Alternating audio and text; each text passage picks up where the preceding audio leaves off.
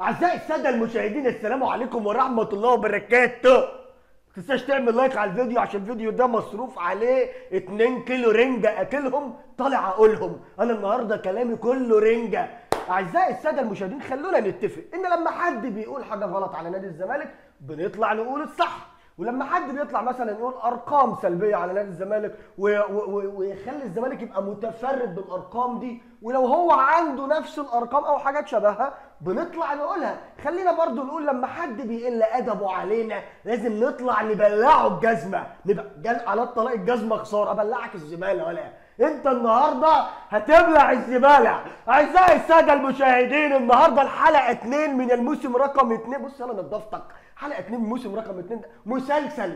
اغبى أهلاوي في مصر. أعزائي السادة المشاهدين هاتوا كوباية شاي وورقة وقلم وكيبوردك قدامك واشحن النت عشان تراجع ورايا ويلا بينا. يعني الترجي هيعمل إنجاز أو أي فريق هيعمل إنجاز فهيجي يعمله هنا على مين؟ هيجي يعمله عليا؟ أكيد لا، هيجي يعمله على ابن خالتي، أكيد هيعمله على الزمالك. لأن الفريق الوحيد في في مصر المستباح، الفريق اللي تقدر تعمل فيه أي حاجة، عايز تعمل رقم كاس الزمالك.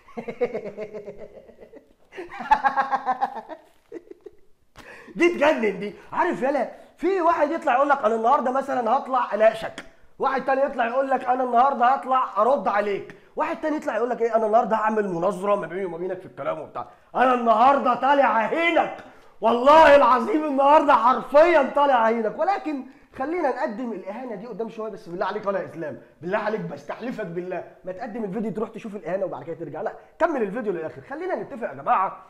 ان إحنا قلنا في أول الفيديو إن أي حد هيقول حاجة غلط على الزمالك هنطلع نقول الصح. وأي حد هيقول رقم سلبي متفرد بيه الزمالك لو هو عنده منه هنطلع نقوله عادي بحيث إن الناس يبقى عندها مثلا خلفية ما بين الكلام هنا والكلام هنا. خلينا نخش في الموضوع. أي حدث في الدنيا في المرة الأولى. فطبيعي إن أنت هتلاقي مثلا أي فرقة من أو أي دولة في فرقة منها أول مرة تكسب حد في مصر الزمالك. وفي نفس الوقت ممكن تلاقي دولة تانية أول مرة فرقة منها تكسب حد في مصر تلاقي الأهلي. بس أنت ما بتكلفش نفسك تدور يعني دور عادي مفيش مشكلة. إن أنت تدور والله يعني مش لازم كل حاجة هتنزل لك من السما في دماغك لا. هي بتيجي بالمعرفة وإن أنت تدور. الموضوع سهل يعني. فأنت أنا أنا مش قايل لك قبل كده يا إسلام في فيديو ياض قايل لك يلا دور دور. لو في حاجة أنت عايز تقولها على الزمالك يمكن تكون عند الأهلي واطلع أحرجك أنا.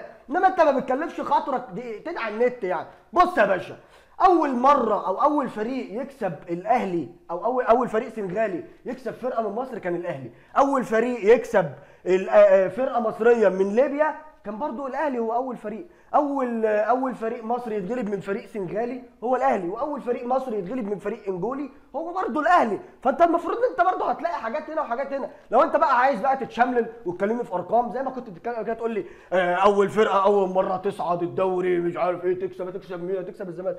طب ما في برضو الأهلي يعني قشطة إحنا كاتبين كل الكلام ده. عندك يا عم اتحاد الشرطة كانت أول سنة ليه يصعد الدوري أول فرقة كسبها كانت الأهلي.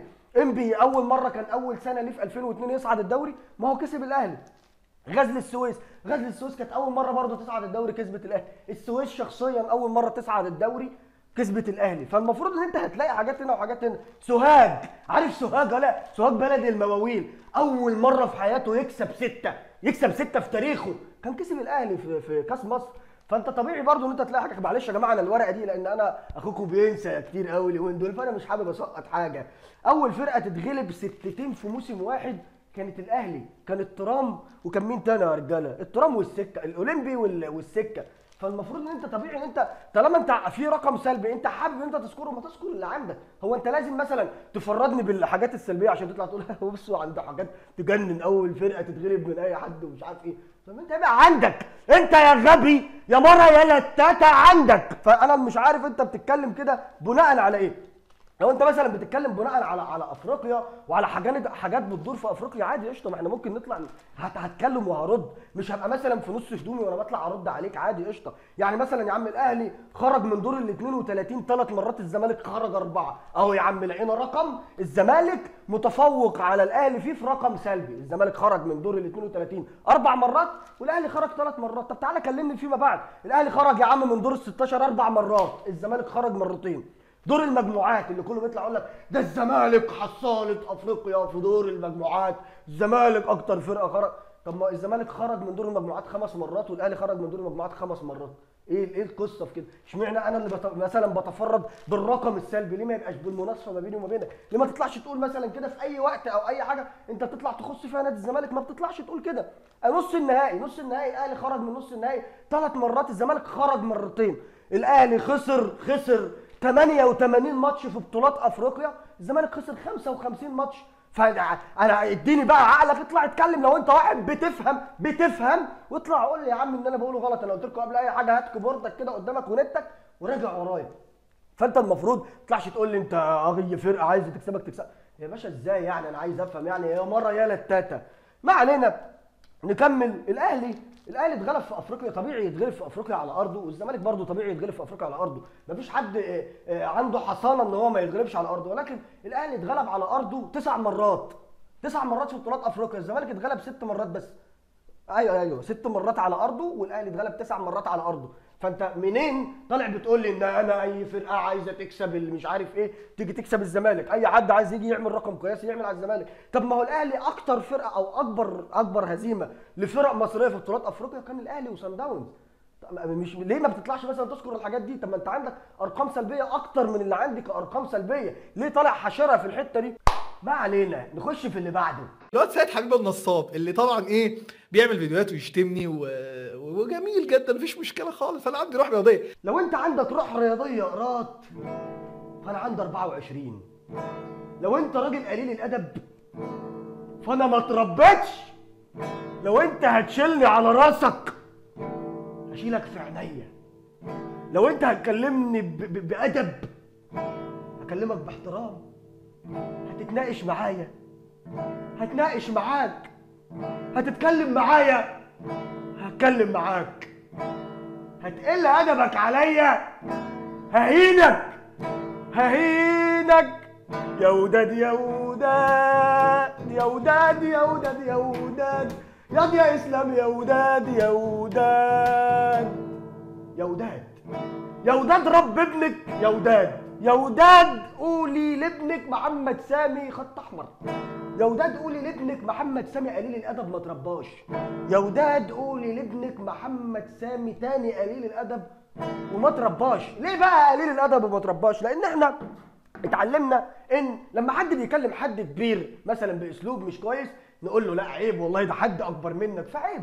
لا أنا لا أنا ما عنديش الكلام ده. أنا لو كلمني حد كبير في السن بقلة أدب هقل أدب عليه عادي ما عنديش أي مشكلة. إيه إيه الفرق مثلا أو إيه اللي أجبره إن هو ياخد رخصة إن هو يقل أدبه عليا لو هو أكبر مني في السن؟ ما أنا مالي. أنا أبويا اتجوز أمي بعد أبويا اتجوز أمه إيه مشكلتي؟ أنت راجل قليت أدبك عليا قل ادبك قل أدبي عليك. ما عنديش أي مشكلة. لما بنت بنت تطلع تستبيح إن هي ممكن تقل أدبها على واحد ولما يجي يتكلم ما ينفعش تتكلم يا أستاذ دي بنت عيب. لا هيقل ادب عليها عادي ما عنديش أي مشكلة لأن هي خدت دي رخصة إن هي مثلا تقل أدبها عليا من من من, من المنظور ده.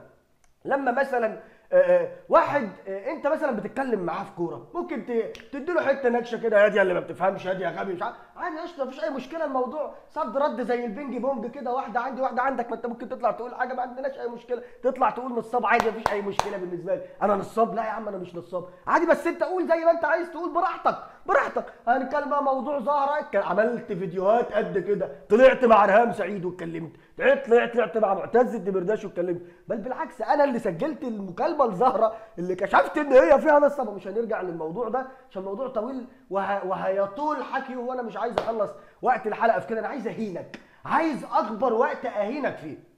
دلوقتي انت بتقول سيد حبيب النصاب. دلوقتي أنا ما اسميش سيد أنا اسمي محمد سامي عادي مفيش اي مشكلة. ولكن نيجي هنا في الموضوع اللي هو لب الاهانة بالنسبة لك انت من منظورك انت شايف ان انت بتهني لما بتقول لي حبيبة مثلا. حبيبة ده يا جماعة بس عشان خاطر الناس تبقى فاهمة الموضوع ده اسم خطيبتي. ما, ما, ما مثلا ما يعرنيش في حاجة إن مثلا لما يتقال لي حبيبة أو بتاع. بالعكس أنا بحب خطيبتي عادي ما عنديش أي مشكلة واسمها طول عمرها أو طول عمري. هيفضل ملتصق في اسمي فالموضوع ما فيهوش أي شبهة إهانة ليا من منظوري. بالعكس ده أنا بحب خطيبتي جدا والله ما عنديش أي مشكلة. أكتبها لك يا عم على على الإيميل محمد وحبيبه ما عنديش أي مشكلة. ولكن ولكن أنا هكلمك من منظورك من منظورك أنت. أنت شايف إن أنت كده بتهني عادي يا عم اكلمك من منظورك وأقول لك يا إسلام يا وداد. طبعا بقى وداد دي بقى ولا اسم خطيبتك ولا مراتك ده, ده اسم أمك. أنت أمك اسمها وداد. عادي ما عندناش أي مشكلة. هل مثلا ده وقع ضرر عليك دلوقتي من منظوري؟ لا عادي مفيش أي مشكلة. أي حد بيتشرف باسم أمه وي- ويوطي على رجل أمه ويبوسها. ولكن أنا عارف أنت دلوقتي قاعد عامل إزاي. قاعد دلوقتي هتكبسها بن وتنام وتعيط لأن من منظورك أنت ده إهانة. فأنا لما أقول لك يا إسلام يا ابن وداد ويا وداد لم ابنك عني أنت هتحس إن أنت متضايق. وهتحس إن هو إزاي؟ جاب اسم أمي منين؟ جاب اسم أمي منين ابن ده قلت لك يا حبيبي هتكلمني باحترام هنتكلم باحترام والموضوع هات وخد هنتكلم بقلة أدب. أنا ما اتربيتش والله وعارف ما اتربيتش بجد. أنا طول عمري عايش بره عمال أروح اسكندرية شوية أروح المحل أشتغل في السويس أشتغل في اسماعيليه ما قعدتش في بيتنا ما اتربيتش. أنا تربيتي تربية شوارع اتربيت في الشارع. عايز تاخد وتدي معايا يا ابن الناس؟ أهلا وسهلا. عايزنا نقل أدبنا على بعض؟ هقول لك كلمة واحدة بس. يا وداد يا وداد يا وداد يا وداد يا وداد يا يا وداد. يا جماعة الناس اللي عندي الناس اللي هي بتحبه الناس اللي بتحبه تدخل تقول له عمك محمد سامي بيقول لك يا وداد. بس مش عايز أكتر من كده والله العظيم. عشان خاطر الرسالة توصل له. أنا أحب إن الرسالة دي توصل له. نيجي بقى إيه؟ للجزء الأخير. إحنا نشوف الجزء الأخير وبعد كده نيجي نتكلم. أما تبقى راجل وتشيل التوكة هبقى إسلام مهدي باشا اللي جزمته بتوكتك يرد عليك. إنما إسلام مهدي مش هيطلع يرد على أي حد. لا والنبي. هنبدأ في الأرض والنبي يا وداد اطلع رد عليا. يا إسلام يا وداد اطلع رد عليا. أنا بقول لك أهو. جزمتك بتوكتي ما ممكن أه تبقى جزمتك بالتوكة. ما فيش أي مشكلة. إنما أنا بقى جزمتي برقبتك. تاخد النقطتين معاك في المجموعة وبالتوكة تخلي ماما تربطها. روح لماما كده. لا مامي عشان طالع اشتم إسلام مهدي. اربطي لي التوكة بس. لا يا عم أنا أمي ست كبيرة. أمي ست كبيرة مش هتعرف تربط لي. نظرها على قدها ومش هتعرف تربط لي التوكة. إنما أنا هخلي وداد هي اللي تربطها لي. أقول لها يا وداد اربطي لي التوكة علشان خاطر أطلع أرد على ابنك. انت أكيد وحيد بابا لأن بابا مستحيل يكون راجل وسايب البنوتة لابسة توكة جميلة كده. بص أنا هصحح لك المعلومة. هو أنا مش وحيد أبويا وأمي هو إحنا اتنين أنا وعمر محمد وعمر. فأنت تحمد ربنا إن محمد بس اللي بيرد عليك مش محمد وعمر عشان ما يبقاش الموضوع دبل ومتعب بالنسبة لك. أما بالنسبة بقى الموضوع لو كان أبوك راجل ما كانش سيبك تعمل شعرك لا أنا أبويا راجل أبويا راجل قوي كمان. طب أنت مثلا ما جاش في بالك أنا عرفت موضوع وداد ده منين؟